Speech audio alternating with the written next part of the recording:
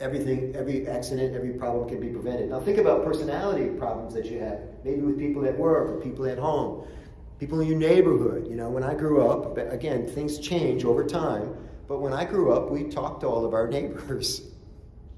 And today, we don't talk to our neighbors too much. You might be the exception, but some of us actually are on, not on speaking terms with some of our neighbors. How does this happen? Was there a seminal moment? Like you, when you moved in, you were talking to everybody. But something happened, right? It's interesting. And all these fences go up, literally and figuratively, and then communication breaks down. We stop talking to each other. So there's all this stuff at play.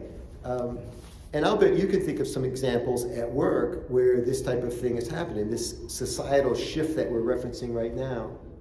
Does anybody have examples of, of communication problems at work right now that are causing you some grief? Maybe even keeping you from getting your job done? Anybody got anything? Yeah, what do you got?